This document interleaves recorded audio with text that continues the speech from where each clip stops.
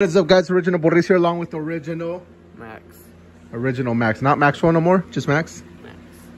All right, today we got these Jelly Belly sparkling water drinks. These are chocolate. We both got the same one. We picked these up at the grocery outlet, 50 cents each. So, there you go. Chocolate Jelly Belly drinks. I had a feeling this is gonna be disgusting. Sparkling water. Can you open mine? Sparkling water chocolate flavored drink. I don't know, man. Sounds sounds delicious. They're nice and cold. They've been in the fridge for a few days. When did we buy these? On Sunday? Oh, I can smell that like. Is it a strong smell of chocolate? Smell, Oh, yeah, it is. It smells like um. It looks kind of. chocolate muffins. it That's looks- it smells like. It looks good.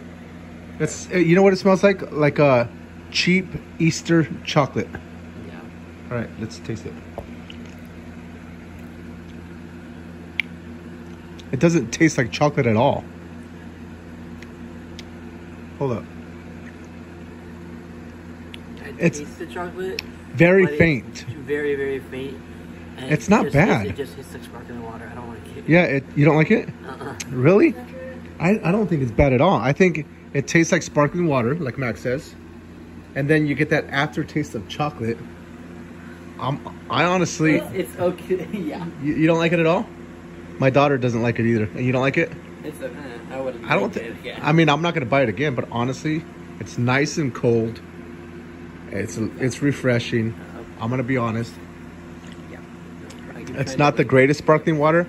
I'll give it a four out of ten, just because it's not something that I drink like ever again. But it's not bad. It's really not. It's not as bad as I thought it would be.